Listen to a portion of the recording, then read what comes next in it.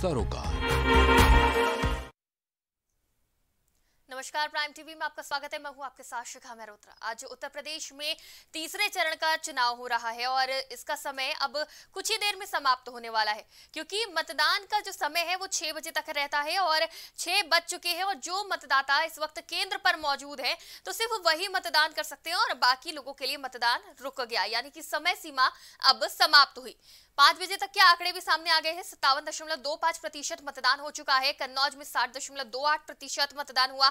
इटावा में अठावन दशमलव तीन तीन प्रतिशत मतदान हुआ। फिरोजाबाद, मैनपुरी, एटा, कासगंज, हाथरस, कानपुर कानपुर देहात और फरुखाबाद ये तमाम जगह यहाँ आंकड़े सामने आ चुके हैं। आपकी स्क्रीन पर है और सभी जगह मतदान पचास प्रतिशत से ऊपर है। मैनपुरी, एटा में साठ और तिरसठ प्रतिशत से ऊपर रहा मतदान। कन्नौज में साठ प्रतिशत, ललितपुर में सड़सठ प्रतिशत मतदान रहा है। तो अच्छी खासी संख्या में इस बार वोट पड़े हैं और ऐसा माना जा रहा है पिछली बार के मुकाबले इस बार अच्छे वोटिंग हुई है। और इसी पे हमारे साथ चर्चा के लिए दो मेहमान मौजूद है, दोनों ही राजनीतिक विश्लेषक है, राजेंद्र वर्मा जी, डी आर साहू जी, दोनों ही मेहमानों का बहुत बहुत स्वागत है। दोनों ही राजनीतिक विश्लेषक हमारे साथ जुड़ चुके हैं। डीआर साहू जी, सबसे पहले मैं आपके साथ जुड़ना चाहूँगी। पिछली बार के मुकाबले इस बार जो प्रतिशत अभी पाँच बजे तक का सामने आया, क्या लगता है कितना बेहतर है पिछली बार से?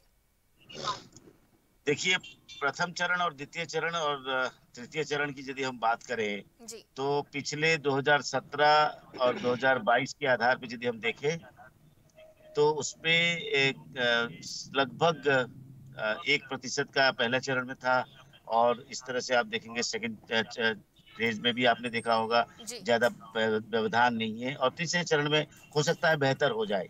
तो ये एक कहीं ना कहीं उत्सुकता को भी दिखाता है और उसमें एक जो मतदान है, वो उत्तर प्रदेश में मतदान की जो भी परसेंटेज है, उसमें ये कहा जा सकता है पिछले 2017 में जैसे लोगों की उत्सुकता से वोट डाले थे, इसी तरह से 2022 में भी उसी तरह से दे रहे लेकिन ये थोड़ा सा पहले शुरुआत में थोड़ा अप्रिहेंशन था कि कोविड की प्रकोप और कोरोना की वजह से हो सकता है मतदान व्यवहार प्रभावित हो सकता है, मतदान की परसेंटेज प्रभावित हो सकता है। लेकिन ऐसा कुछ नहीं है और जहाँ तक उत्तर प्रदेश की जो पहला और दूसरा, तीसरा चरण में ये जो एक जो उत्सुकता है, वो कहीं ना कहीं एक लहर की तरफ़ भी इंगित कर रहा है। जी।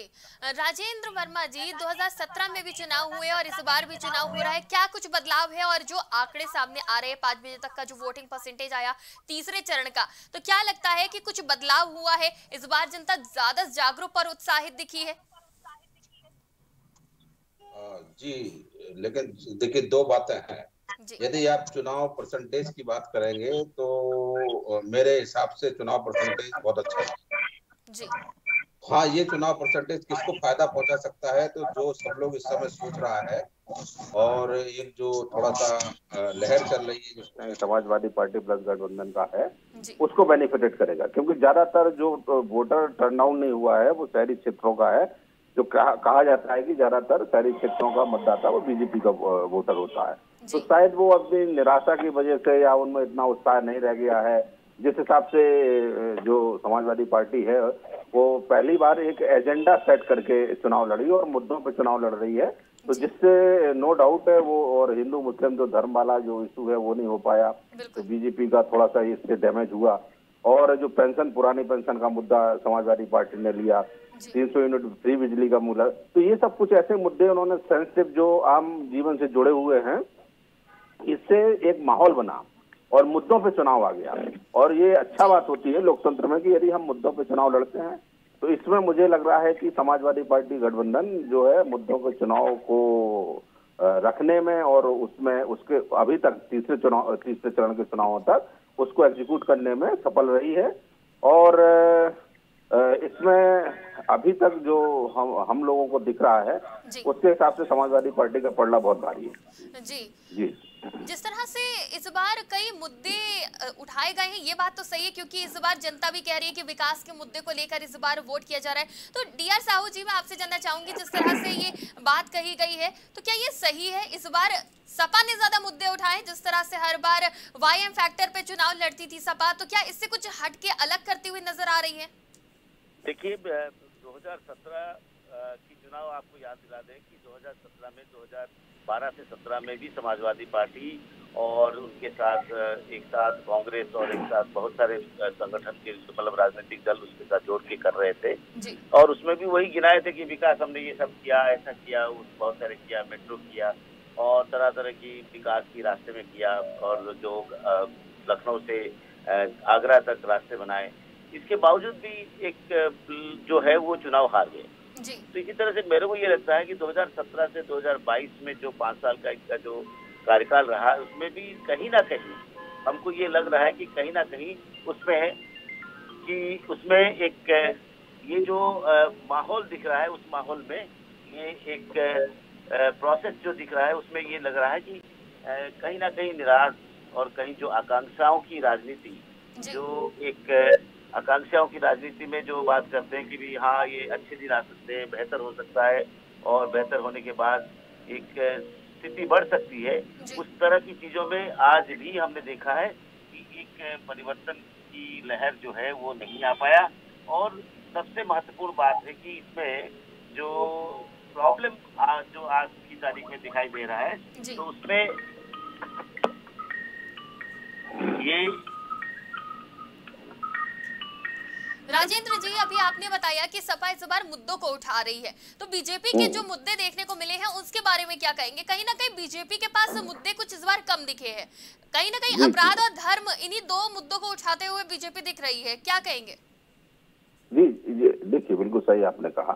बीजेपी का एक प्लस पॉइंट है कि जब भी वो धर्म की राजनीति जब करती है और धर्म का मुद्दा उनका सफल होता है हिंदू मुस्लिम बांटने में कामयाब होते हैं तो बीजेपी को हमेशा ये गिरा है। अभी तक का जितना भी वोटर वोटिंग पैटर्न जो हम लोगों ने देखा है या पिछले चुनाव देखे उसमें हमेशा बीजेपी को फ़ायदा होता है। इस बार एक किसान जो किसान का मुद्दा ये बहुत प्रमुख रहा है जिससे पूरा पश्चिम का क्षेत्र प्रभावित हुआ और जो लखीमपुर वाली घटनाओं को लेकर भी किसान बहुत ज़्यादा आक्रोशित है। और जो किसान तो थे ही थे वो सीधे सीधे बीजेपी से नाराज़ दिखे इस बार। और उन्होंने वोट में भी कन्वर्ट किया है जैसा कि रिपोर्टें आ रही हैं। इसके बाद जो दूसरा जो और अखिलेश ने बहुत अच्छी मैच्योर एक राजनीति हम कहेंगे अखिलेश जी ने कि उन्होंने एक जो पुरानी पेंशन जो कर्मचारियों का बहुत एक दर्द है कि मतलब हम लोग ज़िंदगी भर नौकरी करें इसके बाद भी हम हाथ में कुछ नहीं। और सब कुछ निष्ठा के साथ और यहाँ विधायक मंत्री यदि दो दिन के लिए भी बन जाए एक हफ़्ते के लिए भी बन जाए तो पूरा पेंशन मिल जाएगी। तो एक पुरानी पेंशन का मुद्दा जिससे कर्मचारियों एकदम एकदम से लामबंद हो गए। इसके बाद उन्होंने जो तीन सौ यूनिट फ्री बिजली का मुद्दा दिया और महिला सुरक्षा का, और इसके बाद उन्होंने खाका दिया कि हम इस तरह से डेवलपमेंट करेंगे। तो ये जो है जो लोगों को पसंद आया और इस बार बीजेपी का जो जो एक एक जो कहते हैं कि आपका, उनका एक विजन था कि एक हिसाब से उस मुद्दों पर वो कामयाबी हम लोगों को अभी, मुझे तो नहीं व्यक्तिगत रूप से दिख रही है इतनी क्योंकि वो हर जहाँ अभी बॉडी लैंग्वेज देख लें या उनकी लैंग्वेज देख लें बड़े बड़े नेताओं की भाषा जो प्रयोग हो रही है जो मुझे लग रहा है जो पश्चिम बंगाल में हम लोग देख रहे थे कि इतना ज़्यादा तू तू में चुनाव आ गया व्यक्तिगत टिप्पणियों पे चुनाव आया तो ये यूपी में भी देखने को मिल रहा है। तो लेकिन अब जो जनता भी है वो भी समझ रही है कि अब हम धर्म की राजनीति में कब तक फंसे रहेंगे हमको रोटी चाहिए खाने के लिए। इनका जो थोड़ा बहुत अभी गाँव क्षेत्र में जो फैक्टर काम कर रहा है बीजेपी का वो है फ्री अनाज वाला। तो फ्री अनाज में भी यदि पाँच पाँच किलो ये लोग दे रहे हैं तो अब वहाँ का जो छोटा जो है बेचारा भूमिहीन लोग है जिनको राशन पानी की सुविधा मिल रही है वो अच्छा ठीक है बीजेपी का एक अच्छा था कि कुछ लोगों को भोजन मिल जाए। लेकिन वो कह रहे हैं कि फिर हमको फ़सल बचाने के लिए उस पाँच किलो अनाज के लिए हमको पूरा महीना महीना भर हम जानवरों का खेत में रात में हमको ड्यूटी करनी पड़ती है।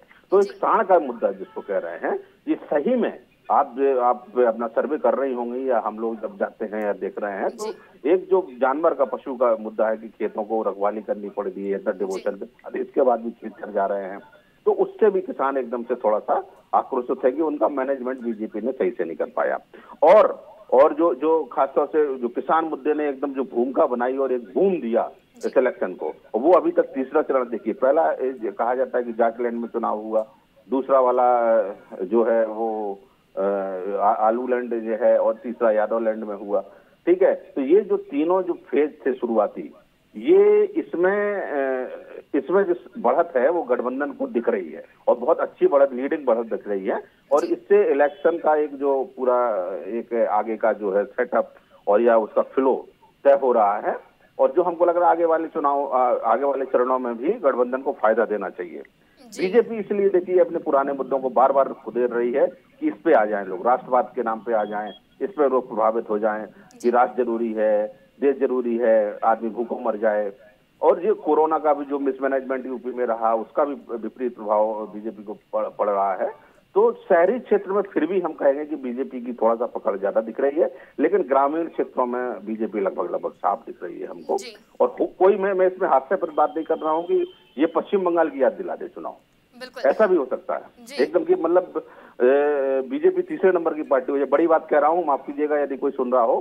ऐसा कभी कहीं ऐसा देखने की ऐसी रिपोर्टें आ रही है यदि ये सच्चाई हो गई तो ऐसा भी हो सकता है कि बीजेपी तीसरे नंबर की पार्टी हो जाए जिसकी संभावना थोड़ा कम है अब लेकिन दूसरे नंबर पे रहना चाहिए सस्टेन करके। लेकिन फुल मेजोरिटी में अभी दिख रहा है कि कुछ ऐसा ना हुआ आगे के चरणों में तो समाजवादी पार्टी गठबंधन सरकार बनाने की विश्लेषण तो किया ही जा रहा है सभी के द्वारा लेकिन 10 मार्च को उसके नतीजे मिल ही जाएँगे। हाँ नतीजे आए बिल्कुल। साहू जी जिस तरह से अभी कहा है वर्मा जी ने कि कई मुद्दे उठा के चल रहा है। वो चाहे पेंशन योजना हो, महिला सुरक्षा का हो, या फिर जो है कई अन्य मुद्दों को लेके चल रही है इस बार सपा और बीजेपी के पास कई मुद्दे कम दिख रहे हैं। और एक 300 यूनिट फ्री बिजली, जो कि दिल्ली मॉडल से उठाया गया है। फ्री की बात इस बार बहुत ज़्यादा सुनने में आई है इस चुनाव में, यूपी के चुनाव में।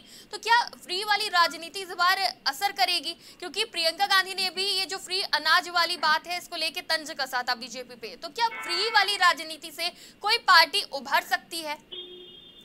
देखिए ये तो एक राजनीतिक संस्कृति का हिस्सा बन गया है कि भारत में जो लोकतांत्रिक व्यवस्था में चुनाव के समय में लोगों को इस तरह से लोकप्रियता और पॉपुलिज्म जिसको हम लोग कहते हैं उससे एक ऐसा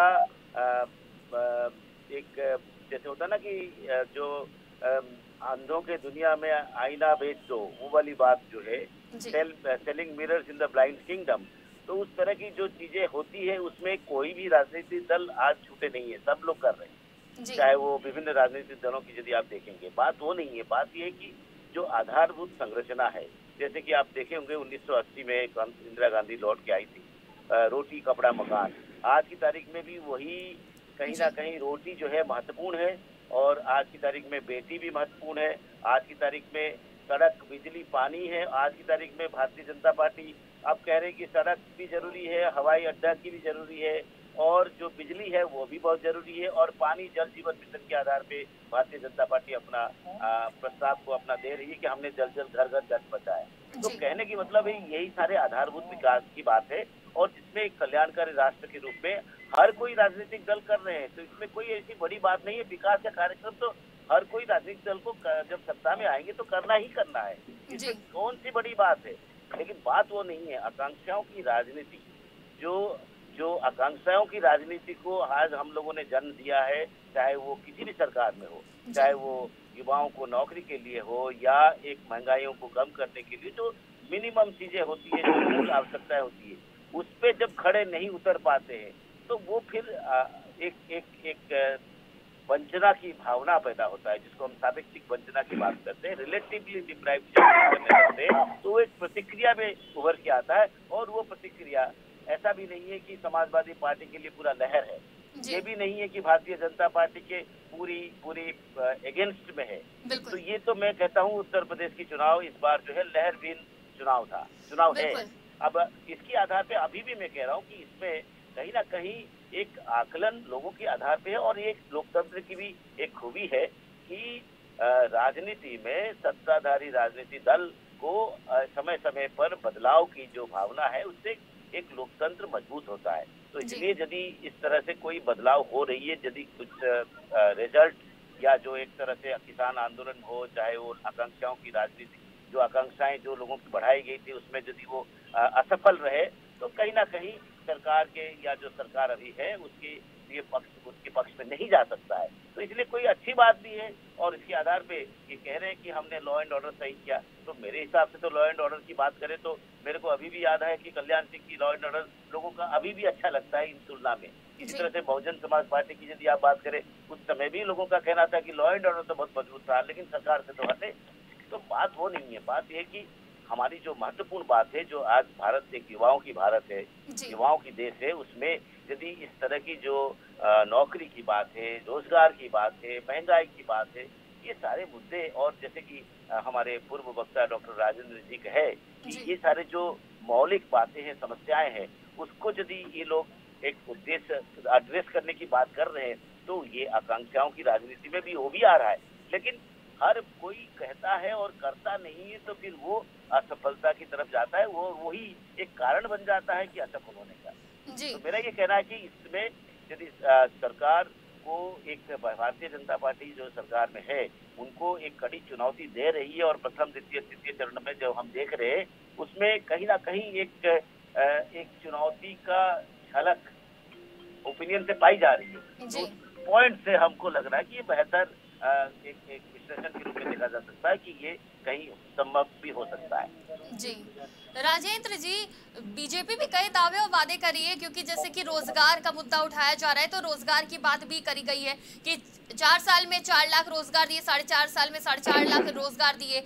साथ में आवास योजना, पेंशन योजना तो इन सब चीज़ों का मुद्दा भी उठाया जा रहा है। विकास करने की बात भी कही जा रही है कि सड़कें बनाई गई, हाईवे बनाई गई तो दावे वादे तो बीजेपी की तरफ़ से भी किए जा रहे हैं। कई कमज़ोर नहीं दिख रही है। राम मंदिर का मुद्दा भी उठ रहा है। तो पिछली बार योगी मोदी लहर थी। इस बार योगी मोदी लहर नहीं है तो इसका फ़ायदा ज़रूर सपा को होगा। लेकिन कहीं बीजेपी भी कम टक्कर देती हुई नज़र नहीं आ रही, जिस तरह से आपने कहा कि सपा को इस बार ज़्यादा फ़ायदा लग रहा है, लहर लग रही है। क्या कहेंगे इस पे? हम्म। जी जी, देखिए जो जहाँ तक बेरोजगारी का मुद्दा है, वो बड़ा मुद्दा है। जी। और यदि आप एनालिसिस करें पिछले पाँच साल का जो वर्तमान सरकार है तो वो रोज़गार देने में असफल रही है चाहे जितने आंकड़े प्रस्तुत कर लें झूठे आंकड़े हैं।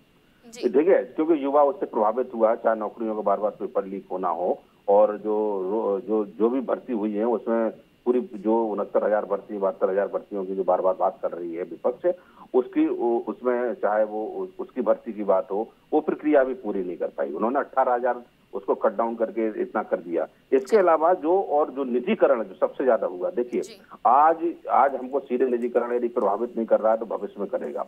महँगाई निजीकरण से इतनी महँगाई आ रही है और निजीकरण करने से सरकारी नौकरियाँ का विजन इनके पास नहीं है पॉलिसी की सरकारी नौकरी कैसे हम प्रोड्यूस करें? इसके बाद अखिलेश जी ने एक और उसी पे एक कहते हैं ना कि जो जब अच्छे पत्ते गिर रहे हो तो एक और आपने स्वरूप मार दिया तो संविदा शिक्षकों का जो उन्होंने दर्द उठा लिया बीच में और आशा शिक्षकों का की जो है कि संविदा शिक्षकों को भी हम नियमित करेंगे और जो आशा है जो जितने भी ग्रामीण लेवल पर काम कर रही हैं महिलाएँ तो उनको भी हम नियमित करेंगे। तो ये बड़े चंक होते हैं ये बड़े लोग जुड़े होते हैं पूरा का पूरा परिवार जुड़ा होता है। ठीक है? बीजेपी ने कहते कह रही है बीजेपी एग्जीक्यूट नहीं कर पाई। ठीक है? ये बीजेपी के साथ ये हम लोगों को एक प्रॉब्लम दिखा कि बड़ी बड़ी बातें करने से कुछ नहीं होता है आपको एग्जीक्यूशन में भी करना पड़ेगा। तो एग्जीक्यूशन में बीजेपी का फेल्योर रहा है कभी ये स्थिति बन रही है आज। नहीं तो बीजेपी ऑब्वियस की बड़ी मार्जिन से जीतती। और देखिए लेकिन फिर भी क्योंकि हम लोग इतना ज़्यादा दावा जो कर रहे हैं लेकिन 10 मार्च तो लोकतंत्र है जनता अल्टीमेटली डिसाइड करती है। इसके बाद जहाँ तक आपने एक मुद्दा उठाया और हमारे senior professor D R Sahu sir ने कहा देखिए एक एक बड़ा महत्वपूर्ण बात है जिसको आपको इस महसूस दर्द को कहना पड़ेगा कोई भी पॉलिटिकल पार्टी जो फ्री वीज चलाती है फ्री की घोषणाएँ करती है।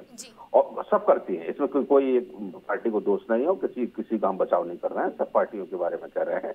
ये एक लोकतंत्र के लिए स्वस्थ परंपरा नहीं है। पहली बात हम लोग व्यक्तिगत मानते हैं इसको। आपको रोज़गार देना है तो उसको स्वावलंबन दीजिए उसको आत्म आत्मनिर्भर बनाइए। सही मामलों में बोलने में आत्मनिर्भर नहीं। आप उसको रोज़गार दीजिए और नौकरियाँ दीजिए। ठीक है तो नौकरियाँ जब सरकारी नौकरियाँ क्रिएट आप कर नहीं पा रहे हैं तो वैसे भी जनता में बेचैनी बोल रही है तो आप थोड़ा उसका भरपाई करने के लिए चलो। अच्छा चुप रहो तुमको राशन दे देना है। ठीक है लेकिन वो परमानेंट सोल्यूशन नहीं हो सकता। इसका ये दिक्कत ये होती है कि यदि आप फ्री बीज जो बांट रहे हैं इसका यदि आप और किससे कर रहे हैं? सरकारी सरकारीकरण वाले सरकारी खाते से या सरकारी खजाने से आप कर रहे हैं। आपको करना ही है तो आप पार्टी फंड के पैसे से करिए कोई नहीं रोकेगा आपको। उसका क्योंकि इसका इम्पैक्ट ये होता है कि जो मिडिल क्लास और अपर मिडिल क्लास है जो ईमानदारी से टैक्स दे रहा है उसके ऊपर टैक्स लाइबिलिटी इतनी ज़्यादा बढ़ रही है कि वो परेशान है। और सरकार ने पाँच साल में कोई टैक्स रिवेट भी नहीं दिया है जो और जो लोग ईमानदारी से अपना टैक्स पे कर रहे हैं वो तीस परसेंट ठीक है बीस परसेंट के दायरे में तीस परसेंट के दायरे में सब आ रहे हैं तो इतना ज़्यादा टैक्स का बोझ सब उनके ऊपर आ जा रहा है। तो वो उन लोग को लगता है क्या हम ही गुना गुनागार हैं क्या मतलब हम ही गुनेगार हैं? जो सब कुछ टैक्स पे करें। तो ये चीज़ें जो फ्री वीज चलाने का है पहली बात तो है यदि किसी को देना है तो अपने पार्टी फंड से घोषणा कीजिए। आप फ्री में सब बांट दीजिए। आप अपने सर, लेकिन सरकारीकरण करके आप फ्री नहीं करती है उनको नौकरियाँ दीजिए उनको परमानेंट सोल्यूशन दीजिए भिकारी बना के नहीं रखिए। उनको अंदर आत्म चेतना और आत्मसम्मान उनका जगाइए उसकी आप डिग्निटी की रक्षा करना भी सरकार का दायित्व है भारतीय संविधान में भी कहता है कि आत्मसम्मान से कोई समझौता नहीं होनी चाहिए। ठीक है तो आत्मसम्मान के विषय में इसलिए आपको नौकरियाँ पैदा करना ही पड़ेगा। तो सबसे बड़ा फेलियर बीजेपी गवर्नमेंट कर रहा है। भले कोई भी कारण नहीं कोरोना ले इधर उधर जो भी करना है लेकिन ये नौकरी पैदा करने में असफल रहे। और देखिए एक दो चीज़ें और है। नौकरी और रोज़गार का मुद्दा। दो अलग अलग मुद्दे हैं जिसको बीजेपी ने बड़ी स्मार्टली एक, एक मुद्दा कर दिया। नौकरियाँ पैदा करना सरकार का काम है और सरकार अपनी पॉलिसियों से जनरेट करती है जिसमें स्टेट का भी जो जो सरकार है उसका भी स्टेक रहता है और जो कर्मचारी है वो भी किसी नियम कानून के दायरे में बन के उसका भी स्टेक रहता है। कर्तव्यों का पालन उत्तरदायित्व का पालन उसको भी करना है। लेकिन रोज़गार रोज़गार में स्वरोजगार भी कर सकता हूँ पकौड़े बेचना मेरा रोज़गार हो सकता है लेकिन नौकरी नहीं है। ठीक है? और आदमी उसको पूरा एकदम शिफ्ट कर दिया उन्होंने नौकरियों से सीधे रोज़गार के रोज़गार के विषय पे और तो इसलिए लोग क्या रोज़गार रोज़गार चिल्लाने लगा। तो क्या रोज़गार दे तो ना है आपको? दे लीजिए। अरे रोज़गार अलग चीज़ है। नौकरियाँ जनरेट कीजिए आप। नौकरियाँ कैसे दे सकते हैं उसके बारे में बात होनी चाहिए। और और क्योंकि बहुत से लोग हैं इसमें भी हो रहे हैं और बीजेपी तो इसमें सबसे अच्छा काम करती ही है कि आप जितना अच्छा फैला सकें कोई भी चीज़ को प्रोपोगेट कर सके। तो लेकिन फिर भी लोगों को ये लग रहा है कि नहीं महँगाई आई है घर में परेशानी हुई है लोगों में असुरक्षा की भावना आई है वो लेके देखिए देश प्रेम देश प्रेम देश प्रेम झूठा राजपाल राजपाल करके ज़्यादा दिन तक चला नहीं जा सकता। जी बिल्कुल। साहू जी मैं आपसे जानना चाहूँगी जिस तरह से महँगाई भी बढ़ रही है रोज़गार की मांग भी बढ़ रही है और सबसे ज़्यादा प्रदर्शन भी देखा गया है इस सरकार में इसका कितना इफ़ेक्ट बीजेपी को पड़ेगा? और जिस तरह से दावे कर रही है बीजेपी सरकार की साढ़े चार साल में साढ़े चार लाख रोज़गार दिया है। विपक्ष भी इसे झूठे दावे कह रहा है तो क्या इतना बड़ा झूठा दावा करना आसान बात है? देखिए सा गवर्नमेंट दो तीन तीन बातें मैं करना चाहूँगा कि एक गवर्नमेंट होता है और गवर्नेंस होता है और एक गवर्नमेंटालिटी होता है। तो गवर्नमेंट तो जो है हम लोग प्रतिनिधि बना के हम सरकार बनाते हैं। और उस सरकार बनाने के बाद सरकार की जो शासन है वो गवर्नेंस के आधार पे सुशासन की बात करते हैं गुड गवर्नेंस की बात करना चाहिए। और उस गुड गवर्नेंस में इनके पास इतनी अपॉर्चुनिटी था इतनी अवसर था कि डबल इंजन डबल इंजन कह रहे हैं। आपने देखा होगा कि डबल इंजन तो बहुत बेहतर काम कर रहे हैं क्योंकि आपने देखा होगा भारतवर्ष में विभिन्न राज्यों को जो भी आर्थिक जो उनको ग्रांट दी गई है केंद्र सरकार की तरफ़ से शायद उत्तर प्रदेश को सारे ज़्यादा मिली है। तो कहने की मतलब है कि गुड गवर्नेंस का जो अवसर है उस गुड गवर्नेंस में बहुत सारे विपक्ष इनको इसीलिए घेर रहे हैं कि कह रहे हैं कि कहाँ है बुंदेलखंड में जो डिफेंस कॉरिडोर का प्रोजेक्ट का इम्प्लीमेंटेशन या धरातल में आने का? तो कहीं ना कहीं ये सब सवाल उठाने के पीछे एक ही कारण है कि जो प्रोजेक्ट से जो परियोजनाएँ हैं, उसकी धरातल में आने के बाद वो एक विश्वसनीयता और वैधता की बात आती है। और उसमें कहीं ना कहीं सरकार को ये विपक्ष यदि घेर रही है तो उसपे कहीं ना कहीं टिप्पणी कर रही है और उसके आधार पे वोट मांग रहे हैं। तो कहीं ना कहीं लोगों को ये लगता है कि गवर्नेंस जो है उसमें सवाल उठ रहा है। और साथ ही साथ तीसरा जो है गवर्नमेंटालिटी वो एक मानसिकता की बात है विचारधारा की बात है एक राजनीतिक इच्छा शक्ति की बात है। और उस इच्छा शक्ति में भी देखा गया कि उत्तर प्रदेश में आज की तारीख में जितने भी विधानसभा की सदस्य जो भी अपने क्षेत्र में कार्य कर रहे हैं इनको अपने कार्यों के आधार पे वोट मांगना चाहिए केवल आज लेकिन ये देखा जा रहा है कि जो कार्य कर रहे हैं उनका आकलन ना होके एक सीमित एक एक राजनीतिक दलों तक बात हो रही कि हम वोट किसको दें। अरे भाई आज भी हमारी प्रजातंत्र में लोकतंत्र में ये लोगों से भी उम्मीद करते हैं कि हम लोगों को ये चाहे राजनीतिक दल जितना भी हम लोग को गुमराह करे लेकिन हम तो एक आकलन कर सकते हैं। जी। ये भी कहीं ना कहीं नागरिक का एक एक ज़िम्मेदारी है।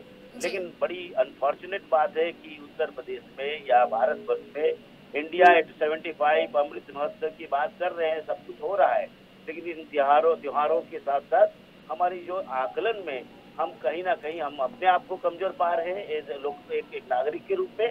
और एक सरकार को भी हम जो उम्मीद करते हैं वो भी उस तरह से जवाबदेही उनसे नहीं मिल पा रही है और बल्कि एक गैर जिम्मेदाराना जो जो जो जो उनका जो परफॉर्मेंस है उनका जो परसेप्शन है उनका जो एक एक रवैया है वो काफ़ी हतोत्साहित कर रहा है ये एक वैचारिक दृष्टिकोण से। और कहीं ना कहीं इस चुनाव में कहीं ना कहीं इसका आकलन होता है और उसका जो जो जो उसका जो विचार वो जो नैरेटिव से केवल देश का नैरेटिव बनना या जंगल राज को खत्म करने का नैरेटिव बनना या जो हिंदू और मुस्लिम का नैरेटिव बनना या जातियों की अस्मिताओं के आधार पे नैरेटिव बनना, ये तो राजनीतिक दल कर सकते हैं, लेकिन जनता भी एक नैरेटिव प्रस्तुत कर सकता है क्योंकि दस बार मुद्दे बहुत देखे जा रहे हैं आरोप प्रत्यारोप भी बहुत हो रहे हैं लेकिन एक चीज़ और देखी जाती है उत्तर प्रदेश के चुनाव के बीच कि जब मतदाता अपने मत का प्रयोग करने जाता है तो उसके माइंड में एक चीज़ ये भी होती है या तो जाति धर्म को देख के वो अपना मत का प्रयोग करता है भले ही मुद्दे बहुत हो बहुत सारे विकास के मुद्दे हो या फिर कई दावे वादे हो लेकिन या फिर पार्टी को देख के अपने मत का प्रयोग करता है बड़े चेहरों को देख के इसीलिए बीजेपी अपने बड़े चेहरे भी उतारती है इस पे क्या कहेंगे? देखिए नैरेटिव प्रस्तुत करने का जो एक जादूगरी या जो संसाधन जो भी एक खूबी है और सम, जो समर्थ है उसमें तो आज की तारीख में उत्तर प्रदेश नहीं भारत वर्ष में राजनीतिक दल के रूप में भारतीय जनता पार्टी काफ़ी अगुवाई कर रहा है। तो उसमें कोई दोष नहीं कोई कोई इसमें दो राय नहीं है लेकिन बात तो नहीं है उसी से कुछ नहीं होता है। प्रॉब्लम वहाँ से आती है कि आप इसको कैसे करें? तो उसमें हमारे समझ में ये जनता की जो नैरेटिव है जनता की जो नैरेटिव है वो प्रस्तुत करेंगे। 10 मार्च में वो नैरेटिव प्रस्तुत होगा जनता के द्वारा जो कि सबको सर्वमान्य होगा और सभी इसमें जाएँगे। लेकिन कहीं ना कहीं हम अपने राजनीतिक दलों का जो भी है वो कभी कभी हम लोग को गुमराह भी करता है भावात्मकताओं को कब काफ़ी हद तक प्रभावित करता है। हमारी इमोशन सेंटिमेंट उन सभी। लेकिन जो परिपक्वता आना चाहिए जो मैच्योरिटी आना चाहिए जो। एक लोकतंत्र में जो नागरिकों से लेकिन वो भी कहीं ना कहीं हमारी ये कमज़ोरी है और इसको हर राजनीतिक दल उसकी फ़ायदा उठाता है। तो धीरे धीरे इस तरह की राजनीतिक दल जो फ़ायदा उठाते कभी कभी सबक नहीं सीखते। तो वो जो सबक है, वो दस मार्च तक पता चलेगा। बिल्कुल। राजेंद्र जी बड़े बड़े दिग्गजों को बीजेपी ने उतारा यूपी के हर चरण में। वो पहला चरण हो, दूसरा चरण हो, या फिर तीसरा चरण हो, चौथे चरण के लिए भी यही प्रक्रिया चल रही है। पहले और दूसरे चरण में अखिलेश का साथ जयंत चौधरी ने दिया। तीसरे चरण में गायब हो गए। तो उन्हें अपने पिता और चाचा को उतारना पड़े अखिलेश, और अखिलेश ने अपने पिता मुलायम को उतारा, शिवपाल को उतारा। तो क्या सिर्फ़ ये तीन चेहरे सपा की तरफ़ से और बीजेपी की तरफ़ से सारे दिग्गज कितना फ़र्क पड़ेगा इस चुनाव पे और अगले चुनाव पे? देखिए बीजेपी का ये पैटर्न केवल उत्तर प्रदेश के लिए नहीं है उसका हर राज्य में ये, ये इलेक्शन में जहाँ भी चुनाव होते हैं उनका ये पूरा टीम संगठन के रूप में कार्य करती है। ये बीजेपी की एक अच्छी बात भी है। इसको हम लोगों को स्वीकार करना चाहिए कि बीजेपी पूरा अपना जो भी जितने भी संसाधन है चाहे उसका सदुपयोग करें चाहे उसका दुरुपयोग करें सबका वो बखूबी राजनीति में प्रयोग करती है और उसके उसके नैरेटिव भी सेट होते हैं। चाहे वो फॉल्स नैरेटिव हो चाहे ट्रू नैरेटिव हो तो वो अलग बात है जिसका जनता जवाब देती है अल्टीमेटली प्रभाव और जहाँ विधानसभा चुनाव की बात तो देखिए मुझे मेरा एक व्यक्तिगत मानना है कि विधानसभा चुनावों में जाति एक बड़ा मुद्दा होता है कि इसके बाद दूसरे नंबर पे आती है कि जो लोकल आपका जो जो एमएलए के लिए एक, जो इलेक्शन लड़ रहा है जो कैंडिडेट है उसका व्यवहार मतलब उसका पर्सनालिटी उसकी इमेज क्या है? दूसरे नंबर पर तीसरे नंबर पर पार्टी आती है। जबकि आप उसके सांसदी के चुनाव में देखें आप जब लोकसभा का चुनाव होता है तो उसमें एक पार्टी सिंबल काम करता है बहुत बड़े लेवल पे। विधानसभा चुनाव में ठीक है पार्टी सिंबल इंपॉर्टेंट होता है नो डाउट होता है लेकिन जाति का मुद्दा सबसे ज़्यादा प्रभावी होता है जो ग्रामीण क्षेत्रों में काम करता है डे टू डे लाइफ में करता है कि ये मेरे ये ये आदमी अच्छा नहीं है ये बुरा है इन्होंने हमारे साथ ऐसा किया। देखिए बीजेपी के कुछ विधायक यदि शिकायत कर रहे थे कि भाई हमारी भी नहीं सुनी जा रही है। तो कहीं कहीं घटनाएँ आ रही हैं कि बीजेपी के लोग विधायकों को लोग घुसने नहीं दे रहे हैं कि आपने क्या किया पाँच साल में। तो इसका इसका भी उनको जब जवाब देते नहीं बन रहा है कि भाई हमारी भी नहीं सुनी गई। तो जो लोकतंत्र से इस समय एक ट्रेंड चला है जिसको नैरेटिव हम लोग बोल रहे हैं कि नैरेटिव जो ट्रेंड है कि आप जवाबदेही से बचना चाह रहे हैं। लोकतंत्र में आप अपनी जवाबदेही से नहीं बच सकते हैं। चाहे एक सिटीजन के रूप में मैं हूँ और चाहे चाहे एक सरकार के रूप में सरकार हो। कोई भी सरकार हो एक्स वाई जेड किसी भी किसी की भी पार्टी की सरकार हो। लेकिन यदि जवाबदेही आप लोकतंत्र से हटते हैं कि आप चिल्लाते रहिए। आपका सुना नहीं जाना ये डेमोक्रेसी के लिए सबसे घातक होता है जिसका दर्द होता है लोगों को। कि आखिर भाई सुन तो लो उस पर एग्जीक्यूशन हो कि नहीं हो। तो एक जो एरोगेंस थोड़ा सा दिखाई दिया था बीजेपी की गवर्नेंस में तो वो थोड़ा सा एक हम लोगों को जो कहते लेकिन उसका प्रभाव ये है कि पढ़े लिखे लोग या कुछ जो जो वार्ता करने जाते हैं कुछ संगठन है तो उनमें ज़्यादा प्रभाव पड़ा। आप स्टूडेंट को एड्रेस नहीं किए स्टूडेंट की प्रॉब्लम आप किसान तेरह महीने से आंदोलन किया और आपने एड्रेस ही नहीं किया। तो एक ऐसे जो मुद्दे हैं कि आप कम से कम सुनो तो टेबल टॉक तो करो। डेमोक्रेसी में आप टेबल टॉक नहीं करेंगे तो कैसे वही समाधान निकलेगा? हो सकता है आप ही सही हो हो सकता है हम भी सही हो। आप कम से कम वार्ता बातचीत का एक वो तो लाई है अब नहीं हम ही सब कुछ कर रहे हैं। एक स्वयंभू की जो परंपरा एक डेवलप हो रही है ये थोड़ा खतरनाक है। देखिए मैं यहाँ पे बाबा साहब अंबेडकर को भी कोट करना चाहूँगा कि वो कहते थे कि डेमोक्रेसी को बचाना बड़ी चीज़ है और जब आप उसमें यदि आप अपने लीडर को हीरोइज्म का वाला संगमा दे देंगे मतलब ये को हीरो के रूप में प्रस्तुत करेंगे तो डेमोक्रेसी के लिए सबसे खतरनाक होगा और वो घातक होगा। और यही हमको डेमोक्रेसी से बचना है। हमको जवाबदेही तय करनी है और जवाबदेही रिस्पॉन्सिबिलिटी जिसको हम लोग कह रहे हैं कि रिस्पॉन्सिबिलिटी यदि तय होगी तो सरकारें भी अच्छा काम करेंगी। जनता भी अच्छा काम अच्छा सोचेगी उसका भी उत्तरदायित्व बनेगा। सब सब अपना स्केपिंग पोजीशन में रह रहे हैं। और जो मैं बार बार कहता हूँ कि भारत जब लोकतंत्र में हम काम करते हैं तो सरकार का दायित्व जो होता है कि वो वेलफेयर स्टेट के रूप में कार्य करे। वेलफेयर स्टेट होता है कि आप सब सबके सबको समझिए जिसको कुछ को ज़्यादा ज़रूरत है किसको कम है जो है अच्छा गवर्नेंस पैदा कीजिए।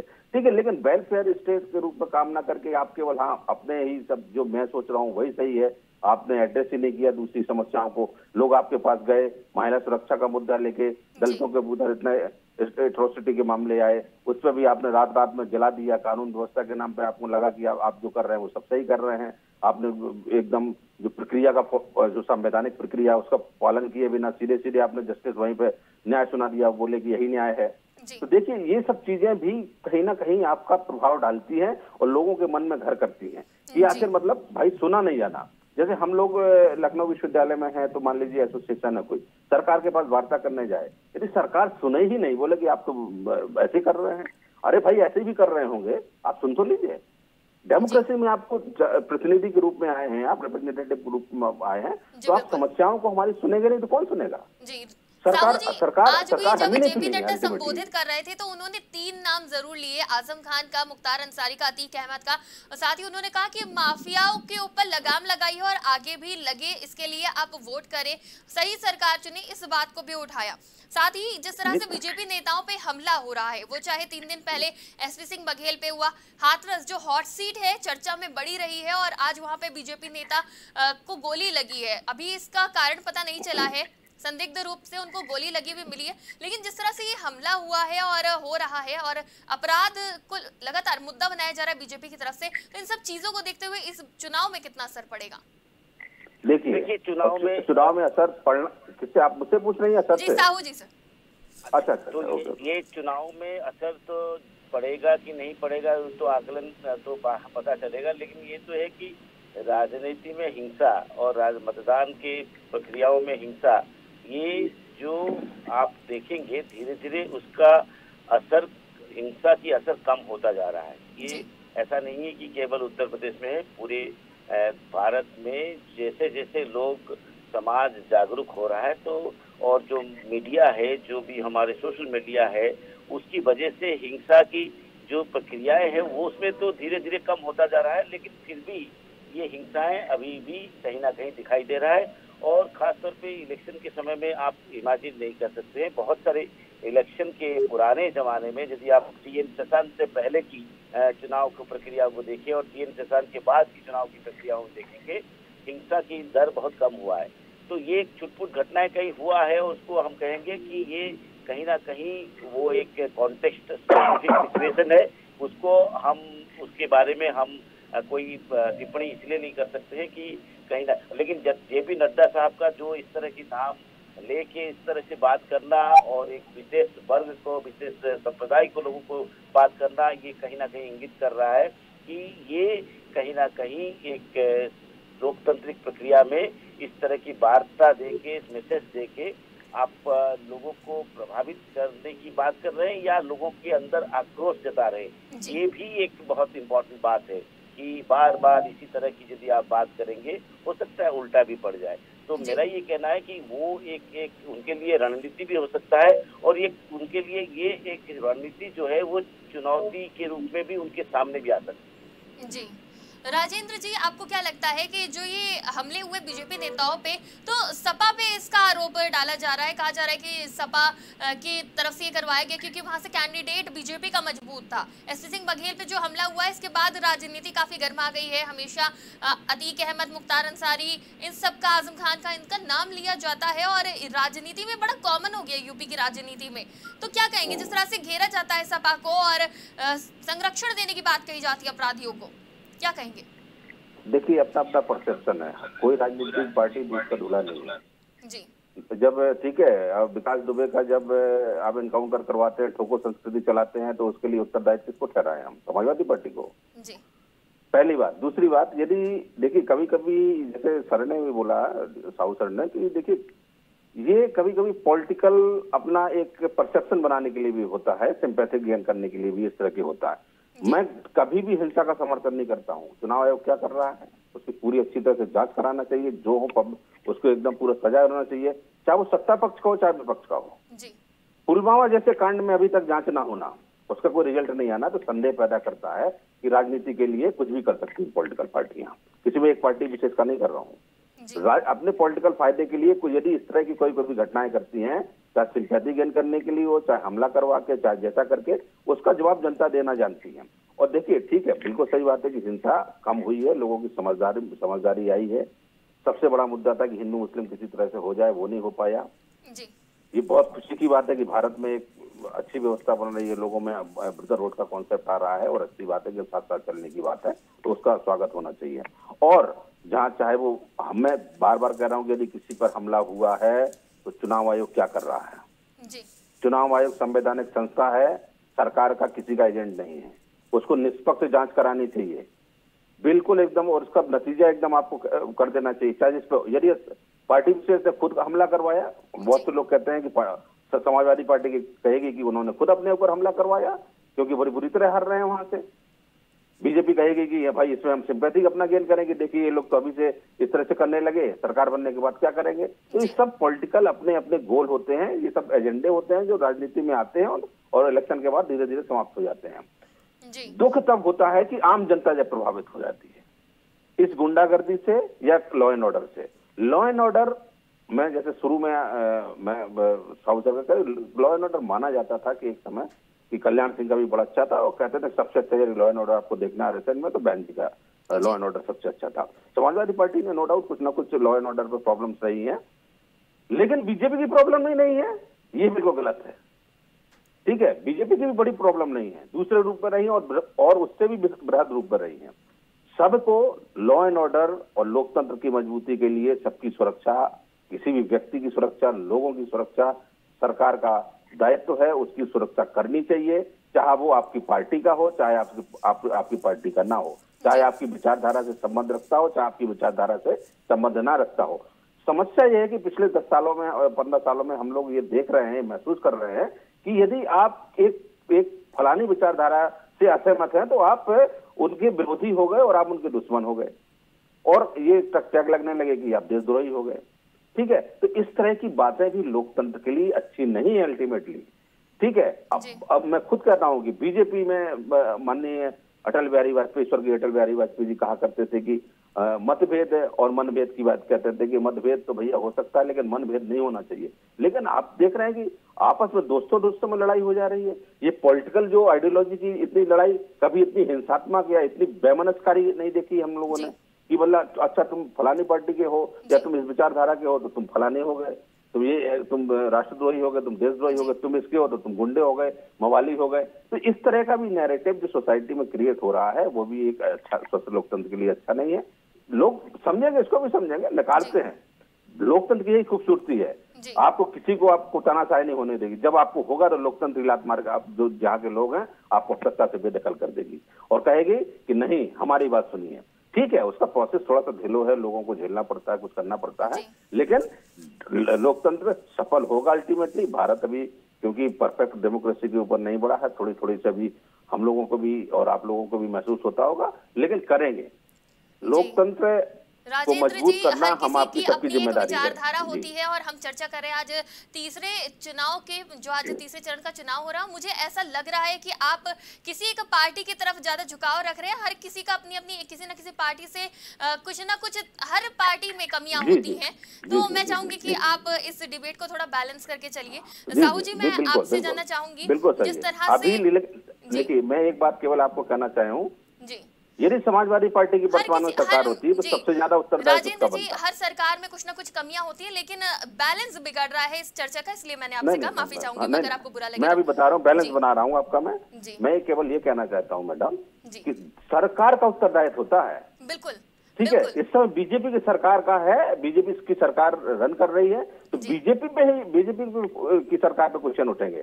समाजवादी पार्टी रूल कर रही होती समाजवादी पार्टी पे लेकिन जिस तरह से समर्थन जा रहा है आपका इसलिए मैंने कहा साहू जी जिस तरह से इस बार यादव लैंड में वोट है आज जो चुनाव हुए वो यादव लैंड में हुए इसमें हाथरस भी है कानपुर भी कानपुर में आज जो मतदान हुए वो कुछ धीमे दिखे हैं कुछ सुस्त दिखे हैं और हम्म। यादव लैंड माना जाता है और यूपी की राजनीति धर्म जाति के इर्द गिर्द मानी जाती है। तो इससे सपा को कितना फ़ायदा होगा? क्योंकि जहाँ तक अखिलेश यादव हैं और यादव जो नाम है टाइटल है, यादव लैंड से जुड़ा हुआ है तो समर्थन मिलेगा। लेकिन बीजेपी के जितने स्टार प्रचारक उतारे गए हैं और बीएसपी भी इसी दौड़ में है।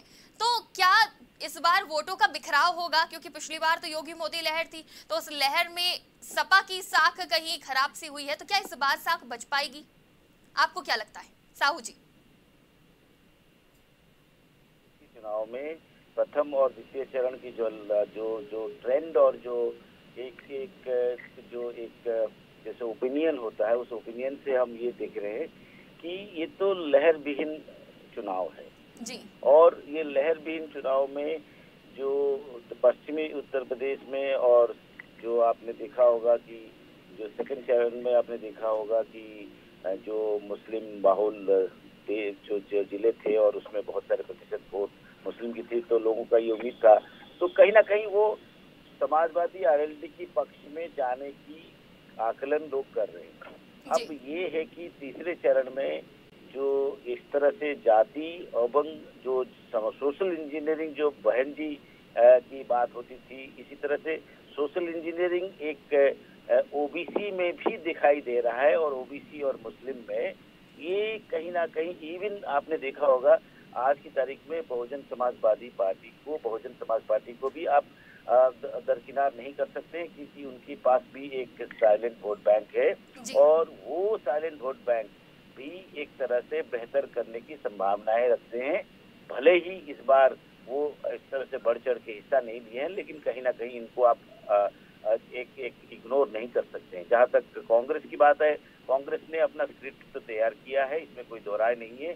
और उन्होंने रोटी और बेटी और महँगाई वो सारी चीज़ों को लेके अपनी बात रखे हैं लेकिन वो जो अस्मिता महिलाओं की अस्मिताओं को उभारने की कोशिश किया एक एक एक स्वागत योग्य है। हालाँकि उत्तर प्रदेश सरकार या भारत सरकार विभिन्न विभिन्न राज्य में महिलाओं के सशक्तिकरण के लिए संयुक्त राष्ट्र संगठन से लेके आज तक हर कोई पंचायती राज व्यवस्था में सब कहीं महिलाओं की सशक्तिकरण बात होती है। लेकिन महिलाओं को अस्मिताओं को उभारने के लिए राजनीतिक दल के रूप में कांग्रेस की जो एक एक अहम भूमिका और एक तरह से उनका जो वोट का पर जो चुनाव में उनको हिस्सेदारी बनाना ये एक स्वागत योग्य है। तो कहने की मतलब है जो ओबीसी में जो यादव केवल नहीं है नॉन यादव जो भी है साथ ही साथ आपने देखा होगा मुस्लिम या जो जो है वो सारे यदि मिल जाएँगे तो कहीं ना कहीं एक एक समर्थन जो है बेहतर उसमें दिख रहा है। लेकिन इसके साथ साथ भारतीय जनता पार्टी में भी बहुत सारे ऐसी बिरादरी है छोटे छोटे बिरादरी जो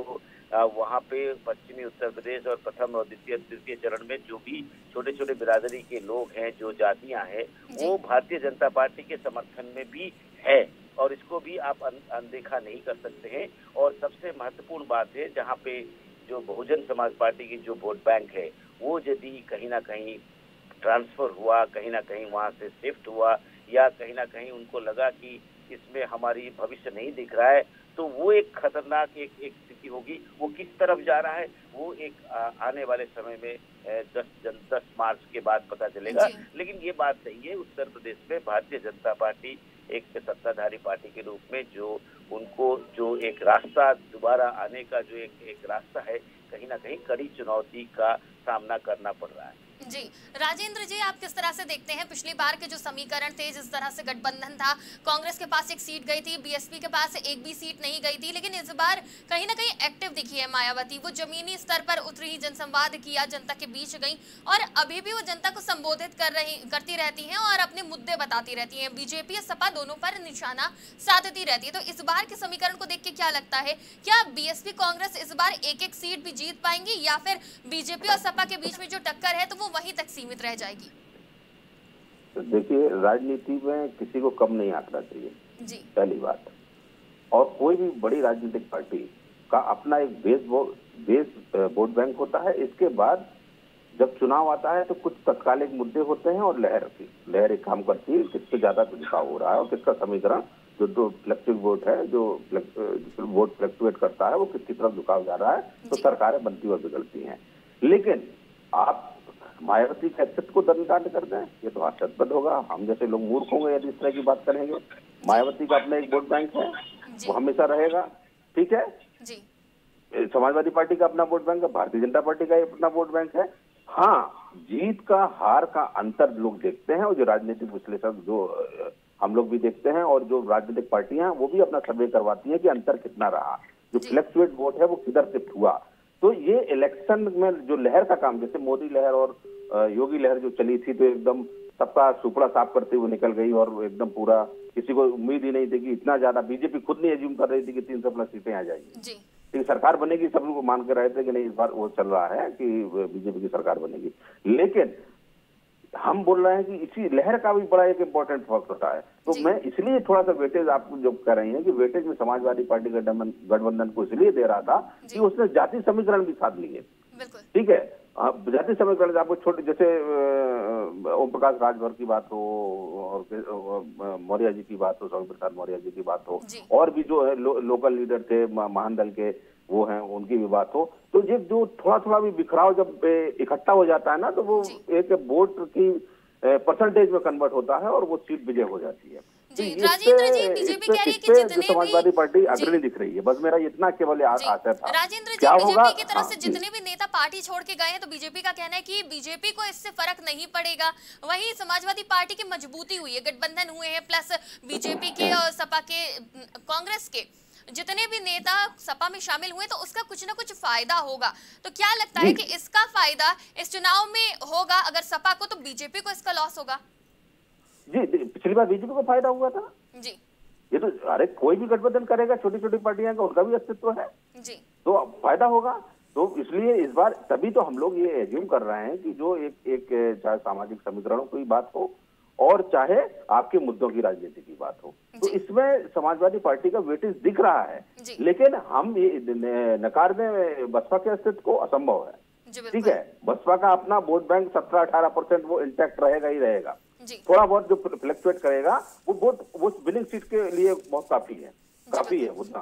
ठीक है? यदि मान लीजिए दो परसेंट तीन परसेंट चार भी फ्लक्चुएट हुआ वोट एससी का जिसको हम लोग कहते हैं कि दलित वोट बैंक है। दलित जो वोट बैंक तो मैं उसको नहीं कहता हूँ दलित हैं वो यदि वो हुए सरकार किसी दूसरे के पक्ष में और तो वो सरकारें भी बना बिगाड़ सकते हैं। इसलिए इंपॉर्टेंट फैक्टर हो जाते हैं।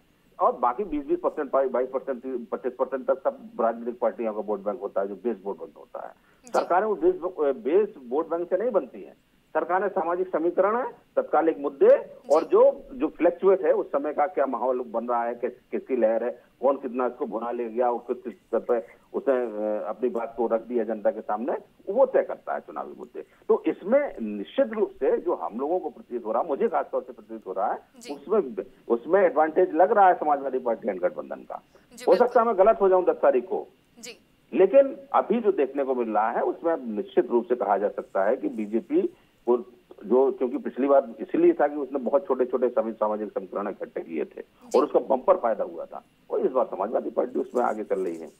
और बाकी तो जनता जनार्दन है जो डिसाइड करेगी दस तारीख को सबके सामने खुल जाएगा। जी बिल्कुल। बहुत बहुत शुक्रिया हमारे साथ दोनों मेहमानों का जुड़ने के लिए और चर्चा करने के लिए। तीसरे चरण का चुनाव आज संपन्न हो चुका है और हमारे साथ इस चर्चा में डी आर साहू जी और राजेंद्र वर्मा जी जुड़े थे राजनीतिक विश्लेषक के तौर पर तो दोनों से हमने चर्चा करी इस बार के समीकरण जाने हैं और समीकरण ये बता रहे हैं कि कुछ भी हो सकता है क्योंकि जो वोटर्स हैं वो साइलेंट है और विकास का मुद्दा भी है स्वास्थ्य है सुरक्षा है कई मुद्दे हैं जाति भी है धर्म भी है क्योंकि उत्तर प्रदेश का, सबसे बड़े प्रदेश का चुनाव है। तीन चरण के चुनाव हो चुके हैं और अभी भी कुछ चरण बचे हैं जो कि काफ़ी अहम है, खास है।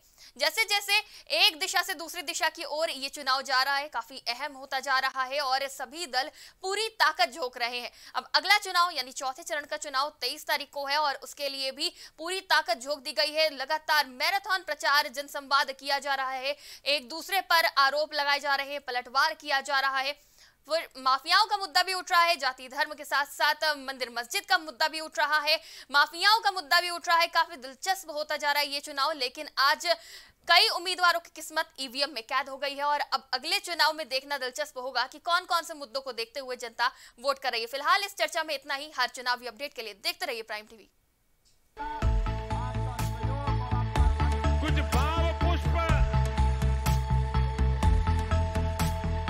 आप देख रहे हैं प्राइम टीवी सच साहस सरोकार।